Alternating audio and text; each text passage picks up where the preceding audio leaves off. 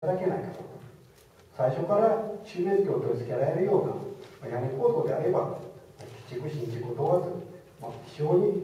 そのシステムの導入がスムーズに進むのではないかというようなことで、まあ、提案をしているところでございます。どうもありがとうございました。ありがとうございました、えー、続きまして地中熱利用促進協会の笹田さんお願いいたします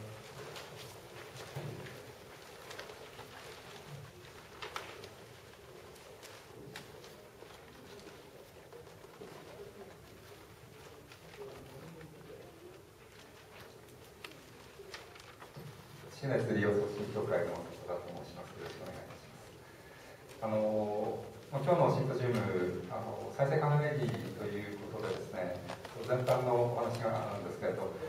あのその中で、まあ、今何かの話があった中で熱の認知度が低いというお話があったかと思います。であのまあ、それでもですね、多分その太陽熱については皆さんもどなたもご存知だと思うんですけれど、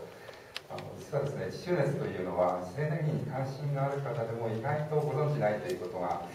実は去年あのこの、えっと、シンポジウム幕張メッセであったんですけどその時にあの私あの地熱の話をさせていただきましたらばその後のアンケートの中でですねあの地熱に非常に関心があるという方が結構いらっしゃったんですね。でその理由はその地熱を知らなかった。もっと知りたいと。そのような話なんですね。で多分あの今日しなられてる方皆さんあの自然に関心が高い方ばっかりだと思いますけれどそれでもその地中熱ということを聞かれてると思いますけれどどんなものか、まあ、まだ十分ご存じない方もいらっしゃるかと思うのでちょっとですね太陽熱と今普及のレベルがあの、えー、太陽の今お話があって2万台ってお話ありましたけどどうしてもその、えー、まだ数百台のレベルなんでですねあの身近にそういうものがないと思うので、まあ、ちょっと初歩的な話からあのさせていただけたらというふうに思っています。で、えっと、まずあの地中熱、まああのえ、地熱って言葉は聞かれてると思いますけれど、まあ、地球というのはあの深くなればだんだんだんだん温度が高くなってきて、まあ、熱くなってまいります。でそういうその熱いエネルギーを使って地熱発電やる、まあ、そこは多分あのご存知だと思うんですけれど実は地中熱の世界っていうのはそういう深いところじゃなくて皆さんの足元の熱なんですね。あの住んでるところのすぐ下の地面の熱これを使うこれが地中熱なんです。そんなその地面の下の熱なんて使えるのかそんなに温度もないのに使えるのかと思いになるかと思うんですけれど実はですね、えっと、日本みたいに四季がある国ではその冬とそれから夏で気温とそれから地球の温度差がものすごくあります。で地面の中は常に温度が一定なのでその、えーまあ、そこのその地温と気温の温度差を使うとうまく省エネができるんですね。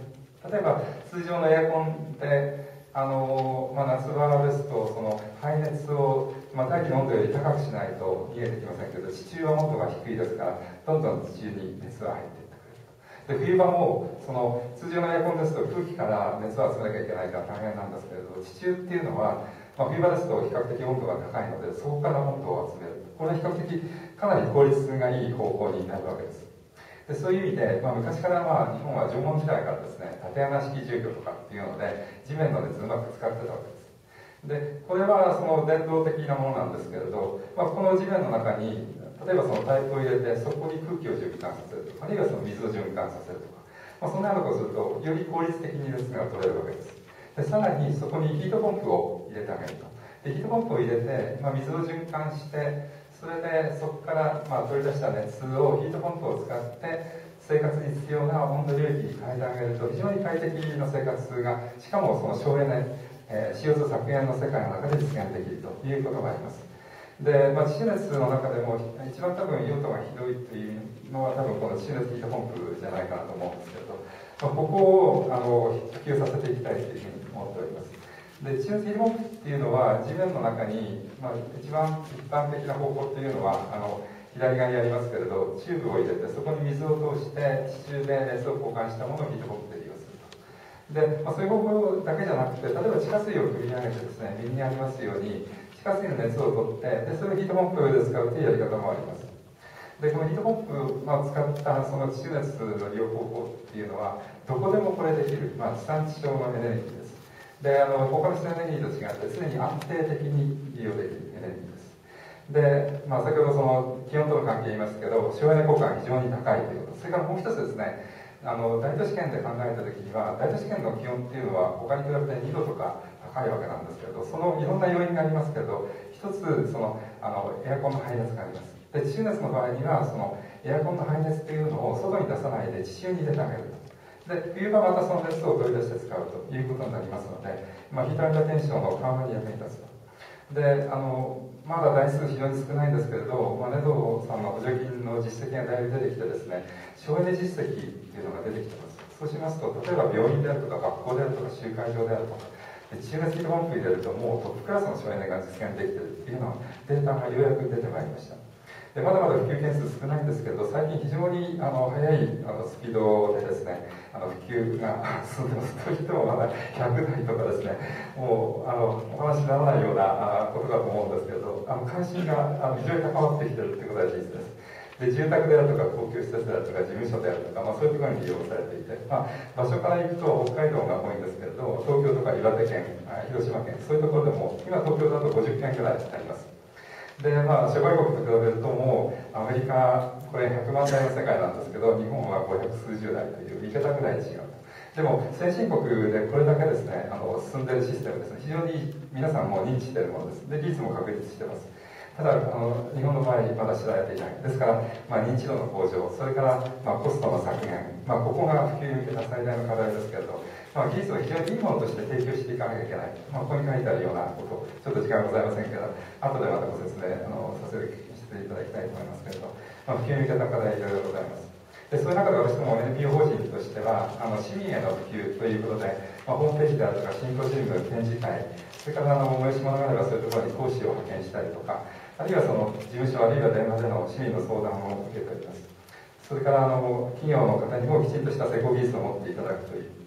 いうことで、基礎講座であるとか、マニュアルの整備、まあ、等々をやって、また国の事業の環境技術実証事業という関係者の事業もやらせていただきまして、まあ、なるべく多くの事例をその積み重ねて、データを皆さんに提供できるようにしていきたいと。それから今、あの緑の文献改革という総務省の事業が進んでおりますけれど、まあ、4つの県であの地熱をあの本格的に取り組んでくださっておりますので、まあ、そこにも私ども協力的とか協力していきたいと思っております。まあ、そのような活動を通してですね、あの、地熱の普及、まあ、皆さんに知っていくという、いただくということを通してですね、まあ、普及を進めていきたいというふうに思っていますので、今後ともよろしくお願いします。どうもありがとうございました。ありがとうございました。えー、きまして、バイオマス産業社会ネットワークの岡田さん、お願いいたします。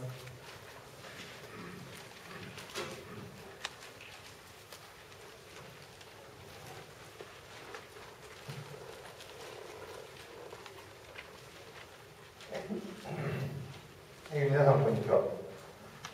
えー、バイオマス産業社会ネットワークの、えー、岡田でございます、えー、今日はですね、えー、バイオマス熱エネルギー市場、えー、地域業界の方向性ということでお話をさせていただきたいと思います。でまあ今まであのいろいろお話はございましたけれども、えー、実はバイオマス、まあ、おそらくこの熱エネルギーといいますか、まあ、こういった文献の中ではバイオマスというのは一番あのある意味では知られてないのかもしれません。ただそのポテンシャルが非常にありましてそこに書かれているのはですね、えー、いわゆる大蔵になりましても、えー、意外に使われてますよ。特に産業界においては相当、えー、使われていて、えー、省エネになっていると。ただし、まあ、そのいわゆるバイオマスの利用可能量もほとんどは有効活用されてないのが現状だということです。で今日実はあの私ちょっと体調を崩しましてですね資料をですねお手元の方にお届けすることができませんでした。それであの実はあの全国の市町村レベルのバイオマスのデータがたっぷり入ったものをご用意しておりますので、えー、後ほどあの J ですかの方のホームページの方には載せていただきますのでご勘弁ください。それであの、まあ、時間もありませんのであのどんどん進めていきますが、まあ、まあ最近あのバイオマスのこの発電施設ボイラー施設、えー、増えてまいりますが利用可能量のまあ数パーセント以下であるということで。特にですねこれはあのバイオスに限らず熱エネルギー利用がなぜ重要なのかという話なんですが特にこれ事業的な話あのに、まあ、特化しますというか、まあ、あの住宅関係でもそうなんですが、いろいろ調べてみますと、このデータもですね、後で j ル p の方の、えー、ホームページに出しておりますが、発電単体で事業化、今、非常のフル金をつけてますから、えー、事業化できるケースというのは、まあ、若干出てきておりますが、え実際はですね、発電単体で事業化できるケースというのは非常に少ないという、特に再生可能エネルギーの場合。で、まあ、個人あるいは熱単体利用というのはですね、これはあの、いわゆる相手にしているものが重油か電気かということで、やはり日本の電気というのは、非常に安くてですね、優秀なんですね。ですから、あのその意味では、その個人あるいは熱単体利用というのは事業化ケースが多いということです。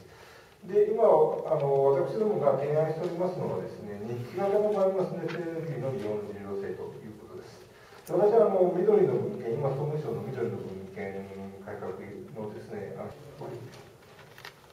例えば、建築時から収熱器の取り付けを、まあ、考慮したような屋根構造にしていただけないかと。最初から収熱器を取り付けられるような屋根構造であれば基築新築を問わずまあ、非常に、えー、そのシステムの導入があスムーズに進むのではないかというようなことで、まあ、提案をしているところでございます。どうもありがとうございました。ありがとうございました。えー、続きまして、地中熱利用促進協会の笹田さん、お願いいたします。